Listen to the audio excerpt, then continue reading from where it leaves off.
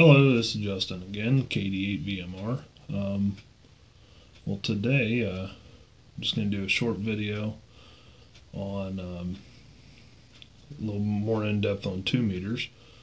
Um, I have some parts here. Uh, just going to show quickly how to build a 2 meter dipole. Um, 2 meter dipoles um, generally horizontally polarized. They work uh, very well for um, pretty much anything. Uh, they work really good for the sidebands and for uh, CW. Um, you can use them as well for FM. Uh, usually, a vertically polarized antenna works better for the FM, but um, I've I've made some simplex contacts with a two meter dipole um, pretty far away, so I mean it, it does work. Um, basically, I have two pieces of wire. Um, this is uh, copper grounding wire. Um, it's flexible, um, but fairly sturdy as well. Um, you can build a two meter dipole using um, copper tubing as well.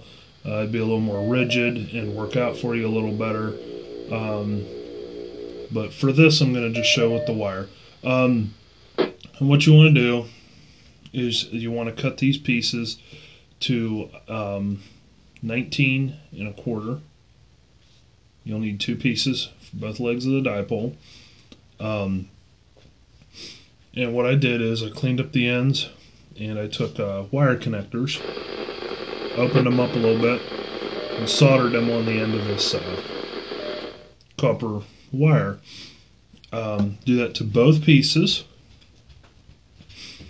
And then what you're going to do, take one end of it. As you can see here, I got the SO239 connector. And you're going to want to take the um, one of the end connectors and you're going to want to solder it to that center pin of your SO239 connector. Then you're going to want to take your other piece and you're going to connect it to the chassis ground of your connector here. And then it'll be connected like this.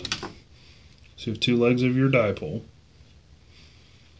Um, on this one, I was getting an SWR um, ratio of uh, 1 to 1. Uh, works fairly well. Um, you can cut it for a little longer um, and uh, trim it down according to your SWR.